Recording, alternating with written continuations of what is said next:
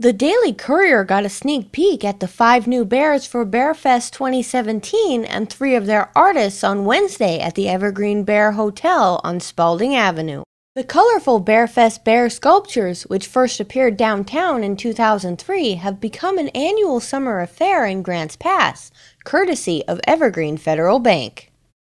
The new Cubs' first appearance will be in the Boatnik Parade on May 27th with the five nonprofits that they honor the Boys and Girls Club of the Rogue Valley, the Grants Pass Family YMCA, College Dreams, Josephine County Educational Fund, Josephine Community Libraries, and Josephine Community Food Bank, Raptor Creek Farm.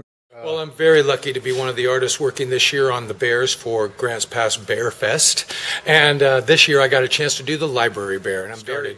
I chose this theme because I also really enjoy the river in Grants Pass, Yeah. the Caveman Bridge, and of course just the whimsy of the Oregon grape Flower and some of the fun parts of being downtown. So hopefully the bear represents stepping right out of the Grants Pass book and right into the real life town we live in.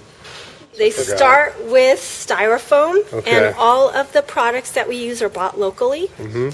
And they carve with a hot knife the styrofoam.